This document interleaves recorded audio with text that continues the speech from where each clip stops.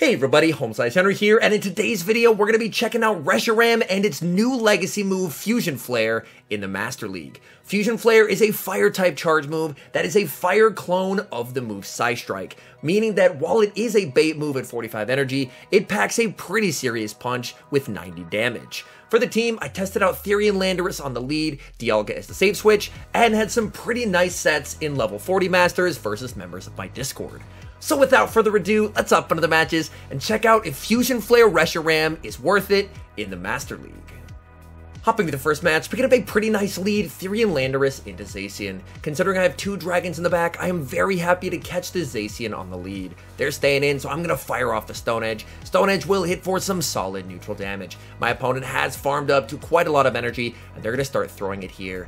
They go for the wild charge. I'm going to try and go for CMP, but they recognize my plan and they end up going for the extra. Superpower would KO with their lower defense. They're going to commit the shield and then fire off another wild charge. Wild charge is going to get me very low. Opponent is going to send in Ho-Oh. I'm able to save the Landorus for later and bring in Dialga. Dialga with the shield advantage is in a pretty nice spot here. I'm going to respect the potential Sacred Fire or Earthquake. They are running Earthquake. I'm going to farm up and then fire off the Draco Meteor just before they're able to to get to the Brave Bird. Draco Meteor will, of course, easily KO, and my opponent is going to let that go. Now we'll have to see, do we see their third, or do they bring back in the Zacian? In comes the Zacian. Zacian's health is starting to get a bit low, and they're forced to lower their defense by throwing here. So you know what? I'm gonna let this go and Dragon Breath down with Reshiram in the back. They have Zarude, and Zarude is not going to appreciate Fusion Flare. Fusion Flare, as I mentioned, is 45 energy, so it does charge fairly quickly, and it hits quite hard at that.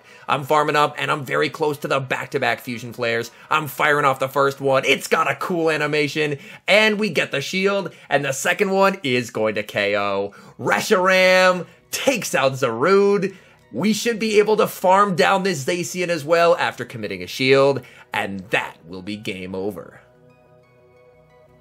Moving into the next match, picking up a tough lead Therian Landorus into Giratina Origin.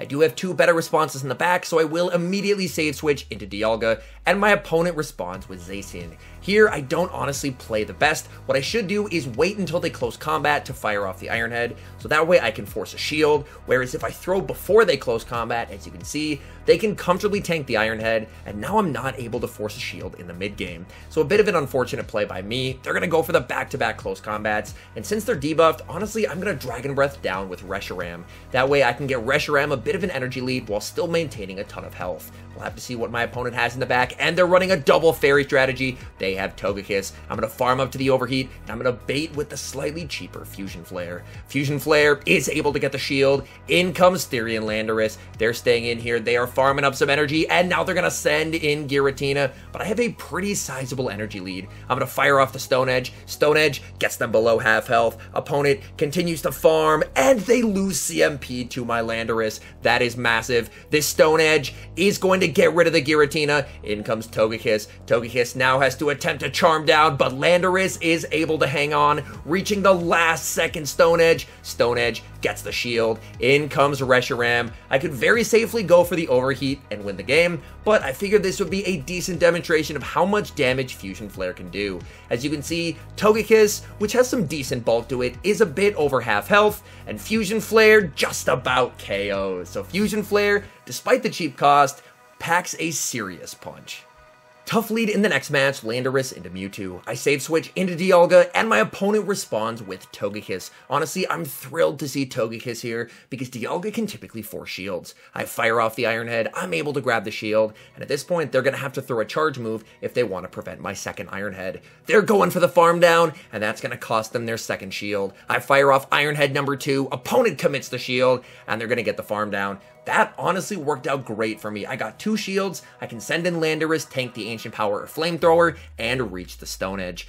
They have a ton of energy. I'm just going to let this through. I should tank whatever they throw here, but they're running Dazzling Gleam and it nearly KOs. I reach the Stone Edge, but they make a beautiful catch, catching the Stone Edge onto their Snorlax. It's actually a Shadow Snorlax, but now with shields down, it's time for Reshiram to shine. Reshiram should be able to shield once, farm all the way down, and leave with a ton of loaded energy to help take care of the Togekiss and the Mewtwo. I now have well over an overheat and not far off back-to-back fusion flares. My opponent is gonna send in the Togekiss. Togekiss definitely not going to appreciate the fusion flare. Fusion flare KOs. In comes Mewtwo. Mewtwo is going to get hit with the overheat. Hello Mewtwo. Goodbye Mewtwo. And that is a good game. Tricky lead in the next match, Therian Landorus into Lugia. I do of course have the ability to hit Lugia for super effective with a Stone Edge, but the unfortunate thing is Landorus is pretty frail, so these Dragon Tails definitely add up. Stone Edge is able to land, Lugia continues to farm, and I'm able to make a catch, catching their Sky Attack onto my Dialga. That's big, I can save some energy for later, and my opponent is going to send in a Terrakion, so my opponent bringing some serious spice to the Master League. Sacred Sword gets me low, and they're able to farm down. That's a little unfortunate. I'm going to send in Landorus, and now I have the back-to-back superpowers loaded. I'm firing off the first into the Terrakion. Terrakion is going to commit the shield, and now I'm just firing off the moves back-to-back. This debuffed superpower is still enough to KO. In comes Lugia. Unfortunately, my switch clock is not quite up just yet, and I'm gonna let this go. I am fully trusting in Reshiram to win this game. In comes Reshiram, my opponent farming up, these Dragon Tails doing quite a lot of damage, and they're going to be able to grab a shield from me with the Sky Attack. We'll have to see what they have in the back. They have Conkeldurr in the back. This is going to be a matchup as to whether I can get rid of Conkeldurr and leave with enough HP to farm down the Lugia. I'm able to reach the back-to-back Fusion Flares. This Fusion Flare is going to KO Conkeldurr, and now it's going to be a fast move race. Dragon Breath versus Dragon Tail. Reshiram just gets farmed down. Great lead in the next match, Therian Landorus into Melmetal. I'm just going to farm up a ton of energy as I'm expecting my opponent to try and go for a catch. They do try and go for a catch onto Lugia, and I'm able to fire off a Stone Edge. Stone Edge will do a ton of damage here, my opponent lets it go, and now I can send in Dialga. Dialga's job is basically just to be a damage sponge, absorb the Aeroblast, farm down, and leave with energy to threaten the Melmetal. They go for the Aeroblast, it lands, and they get the boost. Oh my goodness, this is not good. Dialga barely able to hang on and farm down on a fraction of health. My opponent do they bring in the Melmetal? That's exactly what they're to do. I was just blind mashing the Draco Meteor there. Draco Meteor is able to land. They have a lot of energy, so I decide to go for a Stone Edge bait. I don't want to debuff myself just yet, but I'm expecting the threat of a superpower is going to be able to grab a shield. From here, they're going to start firing off these neutral rock slides. Rock slide is going to land in the back. They have Ho-Oh, and I'm going to send in Reshiram. With a shield advantage, Reshiram can put in a lot of work here. Fusion Flare, of course, is going to be resisted, but it does very similar damage to what a neutral Crunch would do. That's just how good of a move Fusion Flare is. They're going to fire off a charge move. I commit the shield. It's an earthquake, so I'm very happy that I shielded. This is the Brave Bird. Brave Bird probably going to do more than a rock slide from Melmetal, so I will commit the shield and fully farm down. The thing I do have to watch for here is, of course, the back-to-back rock slides. They're firing off the first one. A second rock slide would be lethal. I go for the Fusion Flare. This will be grabbing my opponent's final shield, and I'm going to farm up and try and go for a catch. At this point, I've lost count. I switch into Landorus, and they fire off the rock slide just before I get to the superpower. Rock Slide is gonna KO. It's a race. Reshiram gets to the Fusion Flare, and that will be game over. Fusion Flare takes care of business and secures the win. We've got mirror leads in the next match, Therian Landorus versus Therian Landorus. I don't really want to switch out of this matchup, as Therian Landorus has a ton of play against my backline, so I'm just going to stay in and play out the lead. Unfortunately, they do win the coin flip CMP first, their Stone Edge is going to land, and I'm going to return fire with mine. My Stone Edge is able to land as well. My opponent continues to farm, they bank a superpower, they send in Garchomp, I'm going to bank the Stone Edge for later and bring in Dialga. I decide to commit the shield because I believe I should be able to farm down before they reach a second move. This way I can preserve some HP on Dialga. Dialga is going to get the farm down, but my miscalculation is that they banked a superpower and Landorus wins CMP over Dialga, so unfortunately I'm not going to get to use this energy. They superpower, I'm just going to send in Reshiram and farm them down while they're debuffed. We'll have to see what they have in the back. They have Gyarados. This is not a great spot to be in, but I do have an energy lead, and honestly, Fusion Flare is going to hit pretty hard into the Gyarados. They fire off the Aqua Tail, I commit my final shield. I'm very close to the back-to-back Fusion Flares. I should be able to grab both shields, because if my opponent lets a Fusion Flare through, I can just farm them down. So I'll fire off the second Fusion Flare, grab the final shield, and then, if you remember from earlier, we stored a Stone Edge on Landorus. Landorus is going to take care of the Gyarados, and that is a good game. Picking up a tricky lead in the next match, Therian Landorus into Garchomp. I'm going to get a small energy lead and then safe switch into Dialga, and my opponent responds with Excadrill.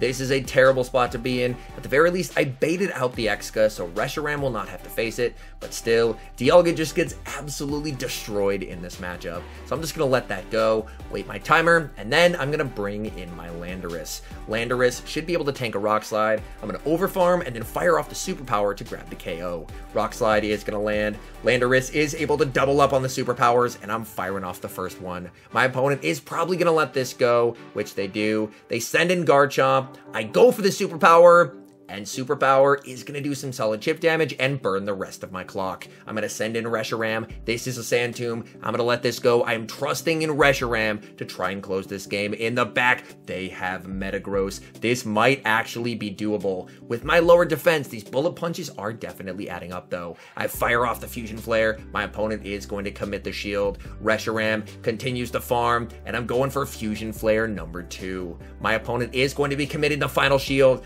My health is starting to get very, very low. And at this point, clocks are starting to come up, so I have to worry about a potential snipe. I continue to farm up here. I have to watch for the snipe. They're going to fire off their final charge move and I just have to be very careful here. I'm going to continue to farm up. In comes the Garchomp. I send in Landorus. Landorus falls just short of reaching the superpower as we lose a heartbreakingly close game.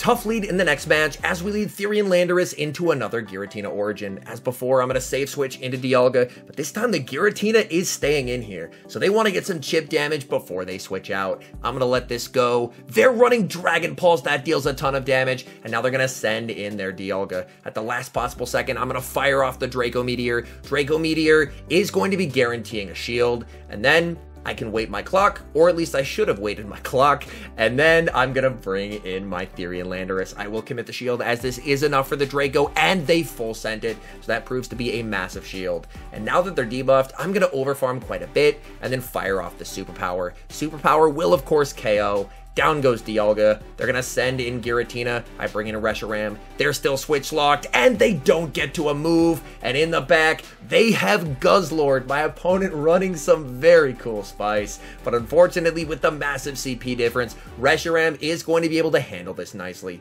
I land the Fusion Flare. I can just shield once, farm down, and I should be able to grab the win. Reshiram gets the farm down and gets the victory. Hopping to the final match, leading Therian Landorus into Zacian. For this matchup, I was actually running Draco Meteor on my Reshiram instead of Overheat. I ended up preferring Overheat. I feel like it is better synergy with Fusion Flare, because at 100 energy, you can hold an Overheat and a Fusion Flare together, whereas unfortunately, you can't hold a Draco and a Fusion Flare at the same time. As you're going to see, Landorus is going to be able to grab a shield here, which is quite nice, but my opponent is going to get the farm down and leave with quite a lot of energy. I'm going to send in Reshiram, as Reshiram is only going to take neutral from these charge moves, so I should be able to tank one. I'm going to let this through. My opponent is going to fire off the Play Rough. That does quite a bit of damage, and they should be able to reach another charge move as well. I will commit the shield, go for the farm down, and leave with a ton of energy on my Reshiram. My opponent is going to send in Lugia, and I fire off the Draco Meteor. Draco Meteor definitely going to hurt here. It connects, and I'm gonna send in Dialga. Bit of a tough decision to make here, as they will be able to reach the Aeroblast, and Aeroblast hurts quite a bit in level 40 Masters, so I will commit the shield and get the farm down. I obviously don't know what they have in the back, so it's a bit of a gamble, but I'm hoping that with health on Dialga, I should be able to take out whatever they have. And they have a Shadow Metagross. This is not good. I'm to bait with an Iron Head here, hoping to try and grab a shield. My opponent calls the bait.